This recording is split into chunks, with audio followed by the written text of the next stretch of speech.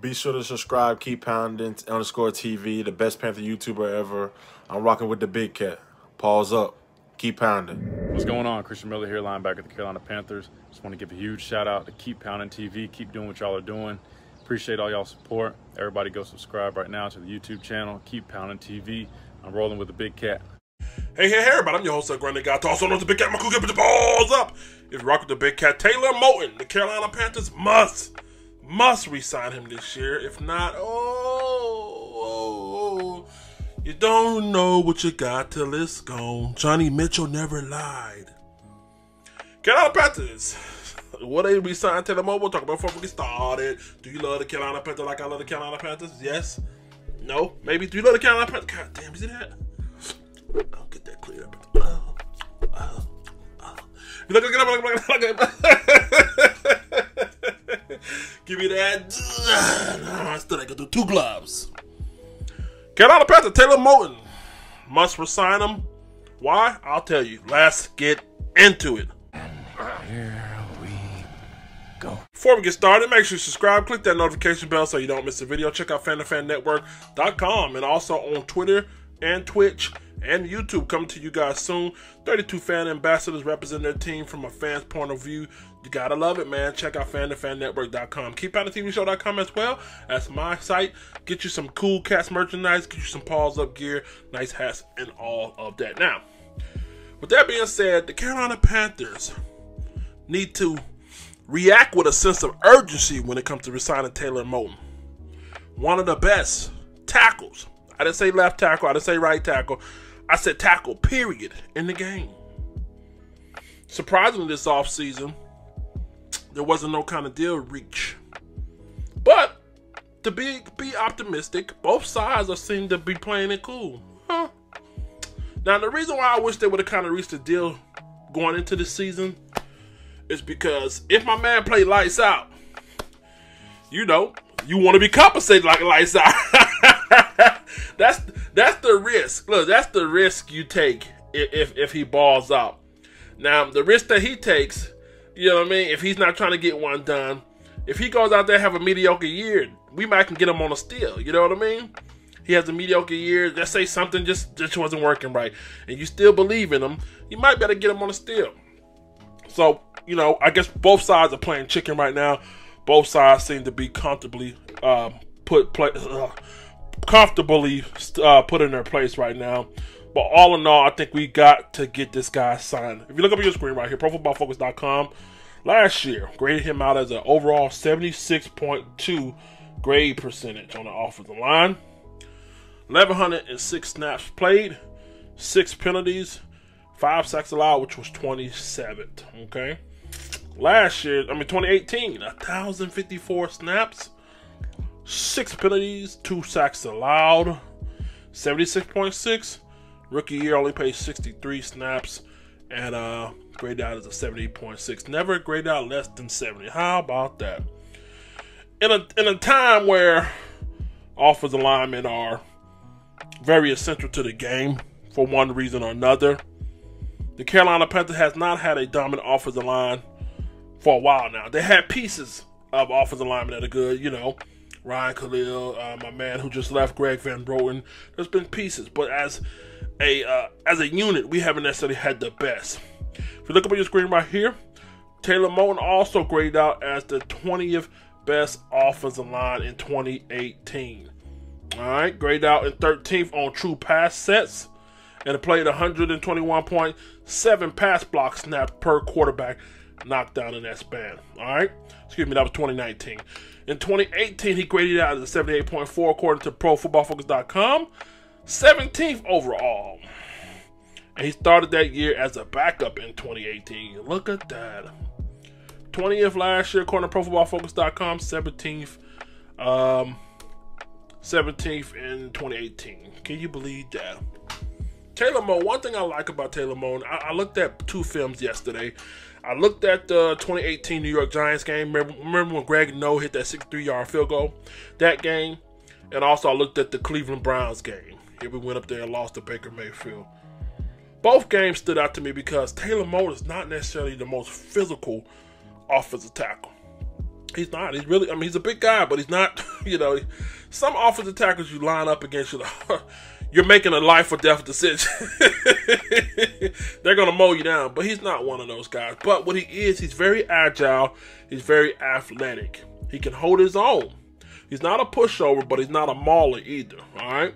In the pass blocking, he's very naggy, very persistent, very smart, intelligent, and patient as well. A lot of stunts. You can't pull a stunt on him when you're trying to cross or delay, you know, with your defensive ends or, or your defensive tackle pulling to the outside and linebacker blitzing. He's very patient. He picks it up well. He does well one on one. You can put him on one on one situation, no matter if it's Myles Garrett, yada yada yada. He's gonna give you enough time in that pass blocking set. He's very rangy, very lengthy. Now, my favorite reason why I like him is because when it comes to run blocking, you see his athleticism. Now, I will show you guys some tape, but again, YouTube wants to be a crab. Fuck your money up. and I'm not about fucking my money up. but I will show you some tape from both of those games, but I'll just talk you through it, all right? Now, one thing that he does really well is getting to the next level and getting on linebackers. You give Christian the smallest crease, and something that he did last year very well. He's taking it for about 10, 15, maybe even taking it to the house. One thing I wish you listen, Taylor, I love you, baby, but you gotta work on something, all right? When you get to the next level, you get kind of grabby, okay? You move well. I mean, you and you do this. You do a chip block, like you help down, you block down, and then you go hit to the next level. All right, so you chip out, help down, go to the next level. But when you get to the next level, sometimes you play out of control and you hook people. You hook them like this and shit.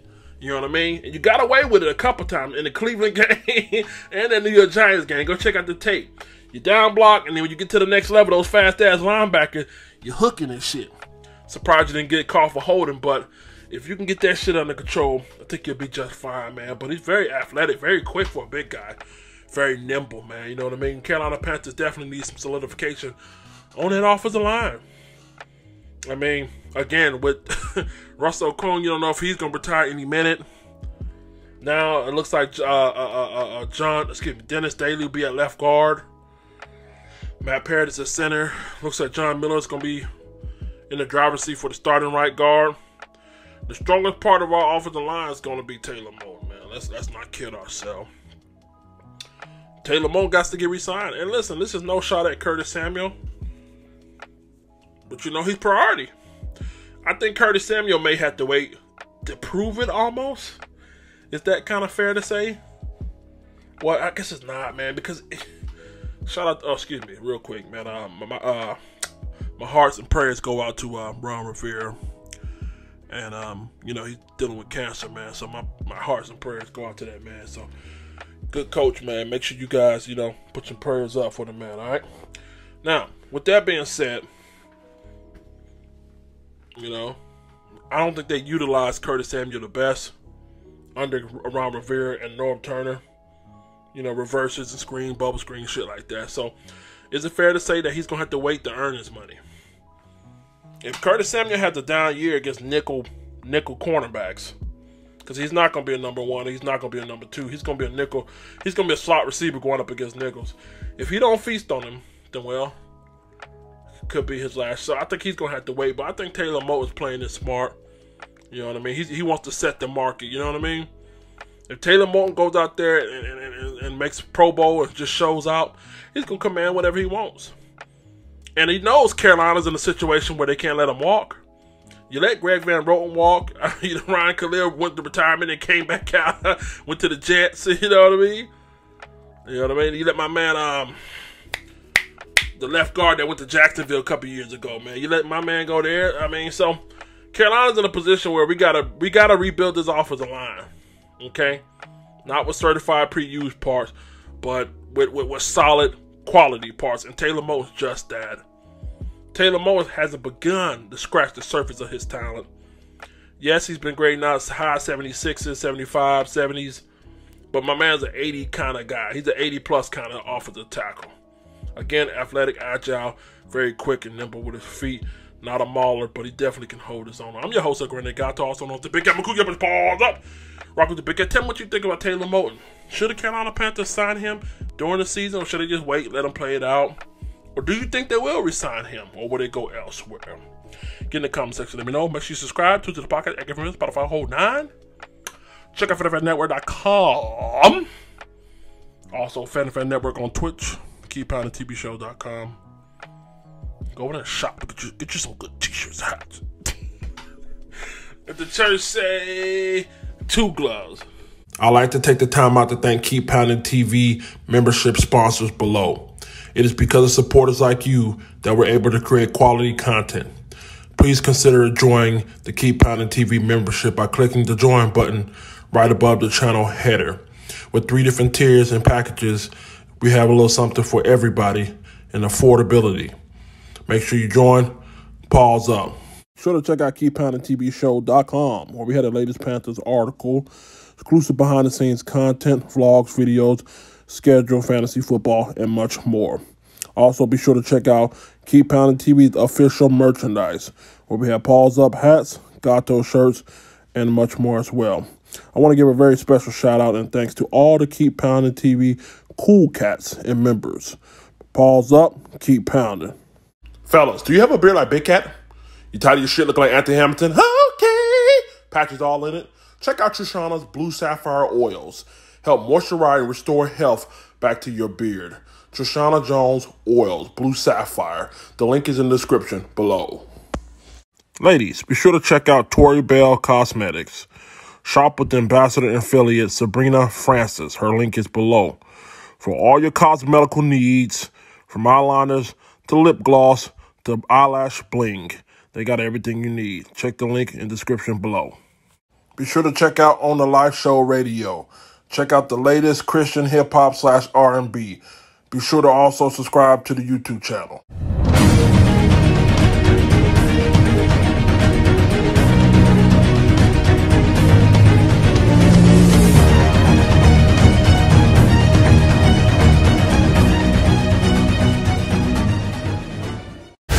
I'm the Big Cat. Pause up! You're watching Fan to Fan Network, the voice that fans deserve.